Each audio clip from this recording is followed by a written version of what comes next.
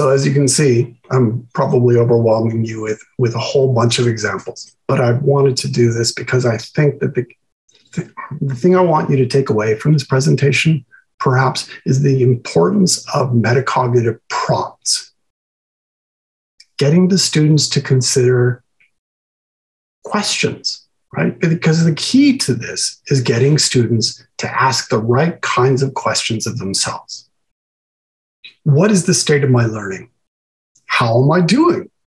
Are my strategies and current study practices working? Here in this chart, I've shown how you can align, embed and align metacognitive prompts to the various stages of student learning, of the learning cycle, right? with respect to certainly metacognitive practice. So, planning for learning, monitoring their learning, and then evaluating their learning. Again, I draw your attention to the questions How am I doing? Am I on track? What did I learn? Did my results match my expectations? By simply asking or tagging questions of these kinds to existing assessments or existing activities, you can go a long way towards pointing your students in the directions we want them to go. I'm going to get a little more specific here. And I'm going to talk not in generalities, not about aligning to planning, to monitoring and evaluating, but I'm going to talk about specific kinds of activities. We can try to include prompts that help students assess what they know about a topic or to get students to reflect on what they understood about the content from a previous class in terms of after a lesson. We can follow up on work that was done by asking them to identify what they didn't what they didn't get, what they didn't understand. We can also get students to reflect on what they thought was from a previous class the most important concept or what was the most important takeaway. All kinds of things can be done. By, cons- by implementing and, and undertaking frequent low stakes formative work students can stay aware of uh, their level of learning and go some way towards strengthening what it is they know and getting a sense for what it is they don't know, right? Which will enable, better enable them to target the work that is ahead. Frequent, what do I mean by frequent? Probably many of you are doing this already, but by having a weekly quiz or discussion forums or even pre class quizzes that have meta- embedded metacognitive elements to them, maybe they're not the focus, but there are additional questions or prompts and maybe for no stakes maybe maybe no points. But they get students again reflecting on the most important aspects of what it is they're trying to achieve. Can help reduce student confusions can help students evaluate their performance and can provide students an opportunity to begin to plan for what's next to plan for their learning as this is vital for students who are going to be successful in our courses. Another example, and here we are really specific. I was thinking of concept mapping and that type of thing, and, and how it is that you might begin to incorporate metacognitive components into that. Um, and so I thought about, uh, and then, you know, I took a specific example from a specific discipline, but I thought I thought about this and I think it's it's easy to do because we do these kinds of tests in class or online all the time, right? We ask students to to map or to diagram something, and they do this as a means to test the student to to to test their awareness or understanding of a particular concept or a particular theory. Um, and so I thought, well, let's take one of those kind of small scale tests, a formative assessment, and let's see if we can't make that a metacognitive activity or an activity with metacognitive elements to it. And so here I thought about let's do a concept map activity. So the students are tasked with mapping a circular economy. Now, that's an economic system that tackles global challenges like climate change, biodiversity loss, and so on.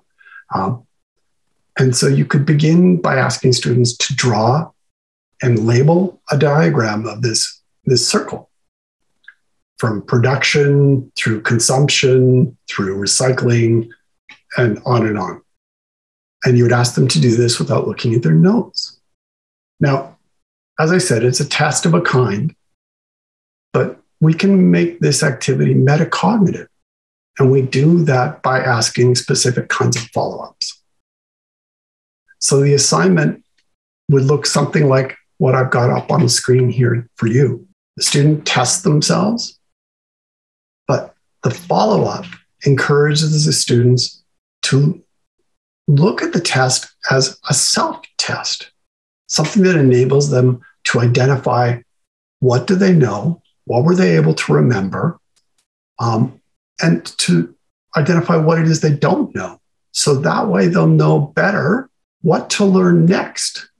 This could go some way towards boosting what they already know, what they have remembered, and also what it is they have yet to learn. So you could add to that additional steps, right? We could encourage students to create a writing, a written plan. How will you close your learning gaps? How will you fill those holes in terms of what you knew and didn't know? And it's also an opportunity to bring forward those student plans and to discuss it as a, as a class so that we can compare and contrast different strategies. And we can discuss this as a group and students can adjust and make make assessments based on their own learning needs as well as um, what their own learning goals are with respect to the particular course. Summative assessments. It is possible to embed metacognitive prompts into, into summative assessments uh, i give you a couple of examples scaffolded assessments I, am a big believer in taking large summative assessments and breaking them into smaller progressive assessments. So rather than single assessment, you create multiple components, multiple assignments to form a scaffolded assessment. These tend to give you better opportunity to give feedback to students with respect to performance, but it's also an opportunity for you to engage through forward feeding forward feeding feedback um, with the students metacognitively to encourage them to think about what is yet to come. Uh, the other thing that I like to consider with respect to metacognitive practice tied to summative assessment wraparounds. Summative assessment wraparounds. Now, these wraparounds can be prior to the assessment or post assessment. But essentially, what you're doing is encouraging students to begin to plan for, to anticipate what they need to learn, what they need to do to be prepared for a particular assessment. And then post assessment, you want them to begin to think about, to evaluate their learning, their success, and if necessary, to revise their plans. So these are things that I would encourage you to think about. Um, but if you want to know more about these things and want to spend a little more time with respect to summative assessments and the relationship of assessments and metacognition to learning outcomes, I probably will explore this a little more fulsomely in my upcoming webinar on March 2nd. And that is outcomes are a lot like Lego blocks, framing outcomes and assessments for students. So hopefully um, you liked what you saw today, and saw and heard today uh, and you would like to come back. So I look forward to seeing you again. Uh, today, I'm going to end with us returning to Calvina and Hobbes just quite quickly. Hobbes, as I said, is our model. She is our model because she displays the characteristics of a self regulating learner. And these are the very skills we want to encourage our students to develop. Unfortunately, I don't think we can achieve this by providing them in a single lecture or by assigning a reading or, or, or some such thing. Instead, explicit routine supports, such as the metacognitive prompts I talked about, are probably what's going to be required if we if we can if we want to give students the space and the time to learn to think and to talk about their about their learning.